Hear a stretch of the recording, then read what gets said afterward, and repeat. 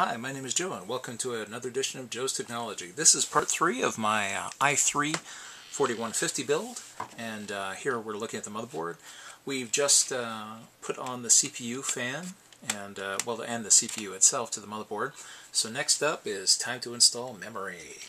In this case I'm using uh, uh, Corsair's 2 gigabyte modules, a pair of them, so that we'll be able to take advantage of the um, dual inline uh, memory capability of this board. Uh, it'll add a little bit to the performance um, so that uh, it'll uh, play games a little bit faster. Uh, in most applications you probably wouldn't notice the memory working as a pair, but in gaming you might. So just in case, I'll go ahead and, and, take advantage of that. Now as you can see the board is actually marked with DIMM numbers, DIMMs 1, 3, 2, and 4. So these gray ones are the first pair and the black ones are the second pair. So I'll be populating the, the two gray ones here uh, with, with our little uh, Corsair. Um, as I've mentioned before, my channel is too small to have any sponsors. Uh, Corsair does not sponsor me, neither does Gigabyte, and neither does Cooler Master. Um, I happen to have all of them featured simply because I buy these products myself with my own money, and they work, and I've never had to RMA any of them. So uh, that's that's uh, why you see me using these particular products. Nobody sends them to me. They're not gifts from benevolent corporations. Uh, they just happen to be the ones that I buy so that I can get the value that I want out of them. Uh, those are just the preferences I've, I've personally developed over the years.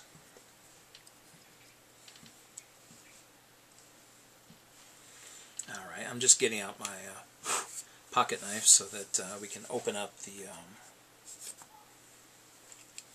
the memory here. Alright. Do my best not to cut myself on camera, which is always good.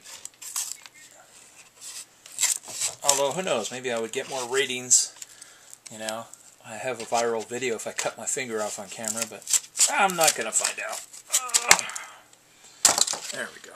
So we got the top sliced off here, and we can get this these memory modules out. They're basically just in here with a little piece of plastic and they're ready to go.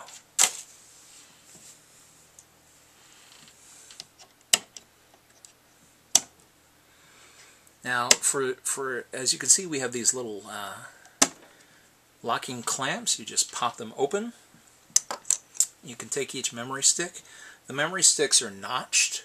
They only go one way, so if it doesn't line up with the notch, you're putting it in wrong. Um, let's see. Oops, I have to pay attention to what I'm doing. There we go. So you just put it down and it should line up with the notch uh, perfectly. Here, let's turn so it's easier to see.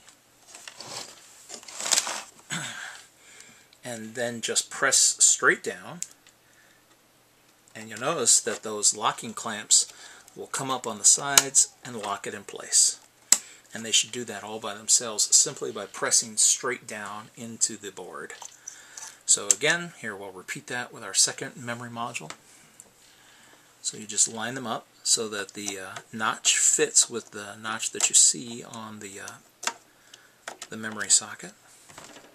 And so it's ready to go. And then again, just press straight down. It shouldn't take a lot of tension. If for whatever reason the PCB you're working with, the motherboard, feels like it has too much give when you do this, you can always uh, pick it up and hold it underneath as you press the memory down if you're worried that your, your board is flexing too much. Okay, with the uh, CPU installed, uh, the CPU cooler, and the memory installed, we're now ready to install our motherboard into our case. Uh, but before we do that, the case needs a power supply. Well, we could put the power supply in last. Uh, well, you know what, maybe we will. We'll go ahead and we'll, we'll put the board straight away into the case.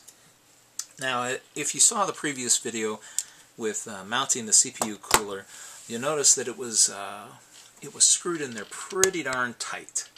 So it's got these nice metal fasteners. You can safely pick this board up and, and place it inside just holding the CPU cooler without grabbing the motherboard itself. This uh, will allow you to drop it in there, well, carefully, of course, without uh, touching any of the delicate little pins. This board is just covered in all kinds of pins and little modules and fuses and caps and, and you don't want to break any of them otherwise that pretty much that's it for the board. So here, we'll, we'll get the case in our next video and uh, place the board inside.